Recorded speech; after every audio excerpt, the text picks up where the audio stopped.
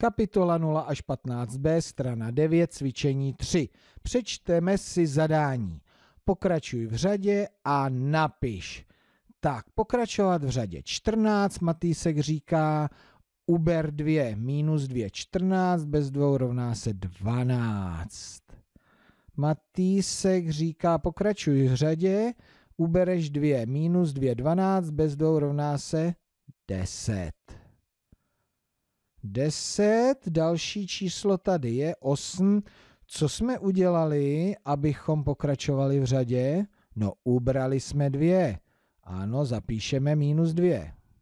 A jdeme pokračovat dál. Os, osmičky dostat se na šestku.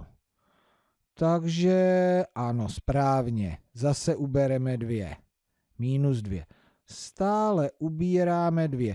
Funguje to i dál? 6 minus 2 rovná se 4. Hmm, a jsem na konci řady, nedalo by se pokračovat dál.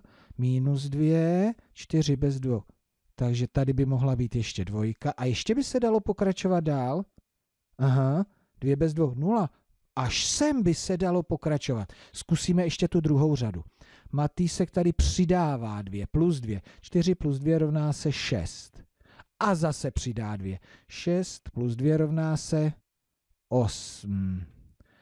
A jak se dostal na desítku? No zase přidal 2 plus 2. Jak se dostal z desítky na dvanáctku?